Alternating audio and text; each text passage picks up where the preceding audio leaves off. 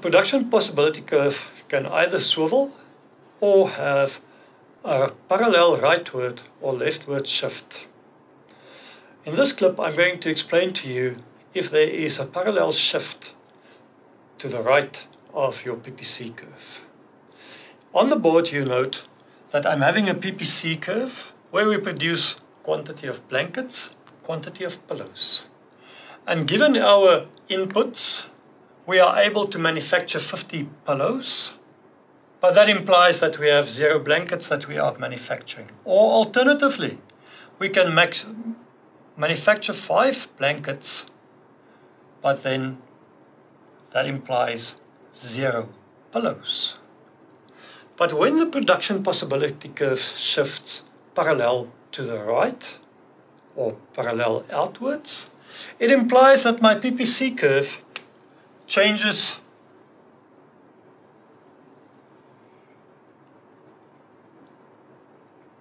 from PPC to PPC 1.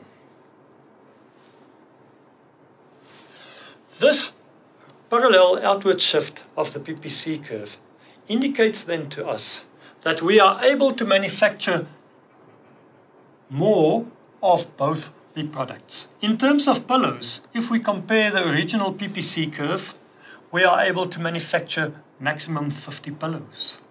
But with PPC curve number one, what do we find here?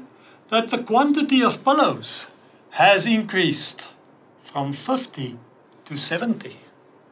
On the horizontal axis, we also note that the quantity of blankets has changed from five blankets to approximately seven blankets. So when the production possibility curve shifts rightwards or outwards, it implies then that we are able to manufacture more of both these products. But what enables us then to produce more of these? It might be first of all that the production technique for both blankets as well as pillows has improved. You might also find that the labor productivity of the workers have improved. And thirdly, it might also be that we have employed more labor to produce larger quantities of these two products. Once again, this outward shift of the PPC curve also represents economic growth. At point A on the original curve, we are, for argument's sake, able to produce 40 pillows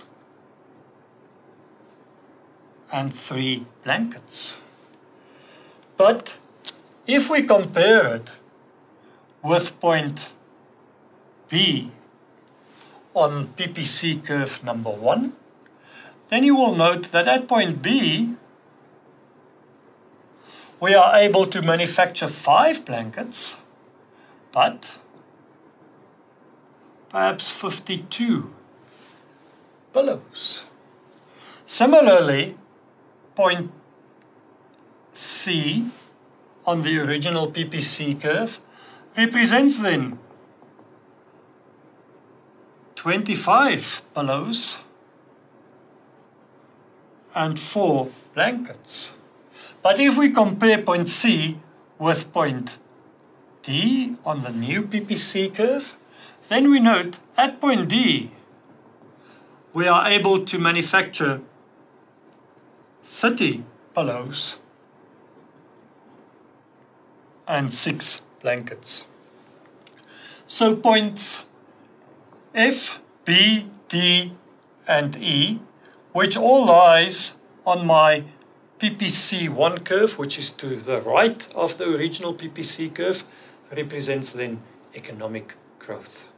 But at the same time, if the PPC curve shifts parallel inwards, which implies moving from PPC1, the blue curve in the diagram, to the black curve in the diagram, then we find that inward shift of the PPC curve, we experience negative economic growth or a decrease in economic growth.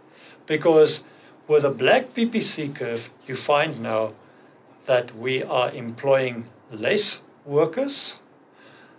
The productivity of labor has changed, and you might also find that there might be a point where the production technique of producing both blankets and pillows is outdated.